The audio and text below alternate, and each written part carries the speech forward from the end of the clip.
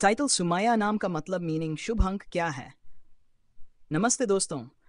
आज हम बात करेंगे एक खूबसूरत नाम के बारे में, सुमाया। और हम जानेंगे इस नाम का शुभ अंक क्या होता है। सुमाया एक अरबी नाम है, जिसका मतलब होता है मसरा या मुस्कान। इसके अलावा इस नाम का शुभ अंक होता है दू। इस नाम में निहित है सजीवता सामर्थ्य और सौंदर्य। इस तरह सुमाया नाम का मतलब होता है मसरा या मुस्कान। और इसका शुभ अंक होता है दो। अगर आपको ये वीडियो पसंद आया है तो इसे लाइक करें, शेयर करें और हमारे चैनल को सब्सक्राइब करें। धन्यवाद।